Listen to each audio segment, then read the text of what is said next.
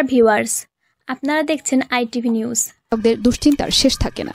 এতে যেমন ফসল নষ্ট হয়, জমিও অনাবাদী হয়ে ওঠে।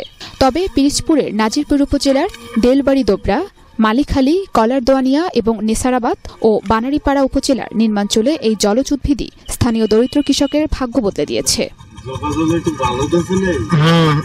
বছরের বেশিরভাগ সময়ই ছয় থেকে সাত ফুট পানির নিচে তলিয়ে থাকে এসব জমি।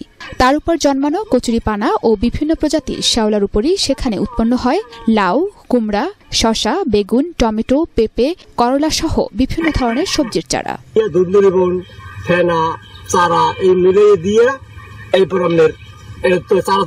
জ্যৈষ্ঠ থেকে পরবর্তী চার থেকে পাঁচ মাস এই নির্মাঞ্চলে ভাসমান সবজির চারা উৎপাদনের কাজ চলে। এখানে ভাসমান বেডে চারা উৎপাদন করে এবং সেই চারা বিভিন্ন জায়গায় তারা বিক্রি করে। ভাসমান এক একটি ব্লক বা ধাপের উপর প্রজাতি ভেদে একবারে এক থেকে দেড় হাজার চারা তৈরি করা হয়।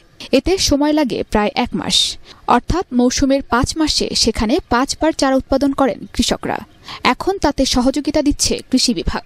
তাদেরকে প্রশিক্ষণ প্রদান করা হচ্ছে এবং আমাদের প্রজেক্টের মাধ্যমে যতটুকু সহায়তা করার দরকার সেই সহায়তা তাদের অব্যাহত আছে। ভাসমান পদ্ধতিতে চারা উৎপাদনে খরচ বেশি। তাই এখাতে সরকারি প্রণোদনাও চাইছেন স্থানীয় কৃষকরা। একটা চারা আমরা চার টাকা পাঁচ টাকা বেশি খরচা অনেক বেশি হয়। ফেনা দাম বেশি তারপরে এই যে ডাবগুলা এই ডাব একটা ডাব আগে আসলে দুই হাজার টাকা এখন কিন্তু পাঁচ হাজার টাকা। নাজিরপুর ও নিসারাবাদ উপজেলায় এবছর দুইশো নব্বই হেক্টর জমিতে ভাসমান বীজতলা তৈরি করা হয়েছে। গত বছর এই পদ্ধতিতে জেলায় প্রায় এক কোটি সবজি চারা উৎপাদন হয়। আমাদের সাথেই থাকুন। আপডেট নিউজ পেতে আমাদের চ্যানেলটি সাবস্ক্রাইব করুন। ধন্যবাদ সবাইকে।